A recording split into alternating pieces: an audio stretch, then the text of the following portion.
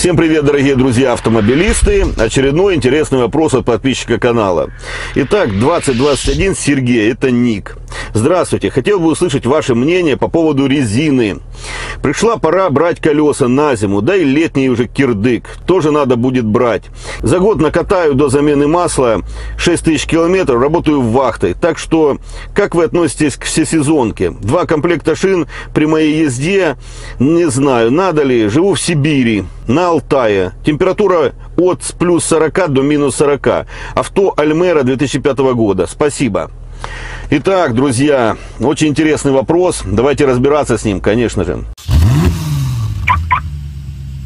6 тысяч километров в год, ну, я проезжаю, к примеру, 10-12 тысяч километров в год. Ну, вот такой пробег. Я считаю, что это небольшой, а у вас этого меньше, конечно же, практически в два раза. Если вы мало ездите, по сути, вы можете поставить себе зимнюю резину и кататься на ней круглый год.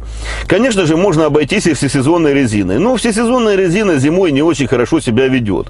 Хотя я вам скажу, что многие мои знакомые докатывают летом зимнюю резину, и получается так, что отъездил весь сезон, то есть все лето на зимней резине, а протектор не стерся. И получается, что следующую зиму опять ездит на этой же зимней резине. Друзья мои, представьте себе, да, у человека осталось, к примеру, там порядка 4 миллиметров протектора, он понимает прекрасно, что уже как бы на зиму ее оставлять смысла нет, потому что для зимней резины 4 миллиметра это минимум, это уже все.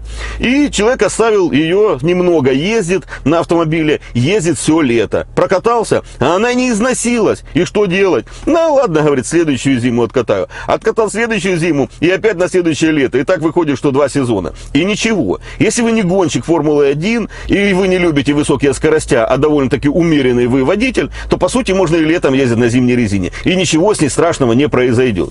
Но если вы хотите поставить всесезонную резину, то смело можете ставить. Единственное, учитывайте, что всесезонная резина зимой ведет себя хуже, чем просто зимняя резина. Ну, на летней резине, сами вы прекрасно понимаете, что зимой вы не наездите. Она не годится для эксплуатации в зимний период времени. Вот такой мой совет.